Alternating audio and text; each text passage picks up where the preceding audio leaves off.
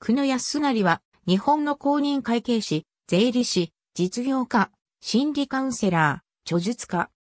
東京コンサルティングファーム代表取締役、会長兼 CEO、東京税理士法人統括代表社員、久野康成公認会計士事務所所長。1965年愛知県刈谷市に生まれる。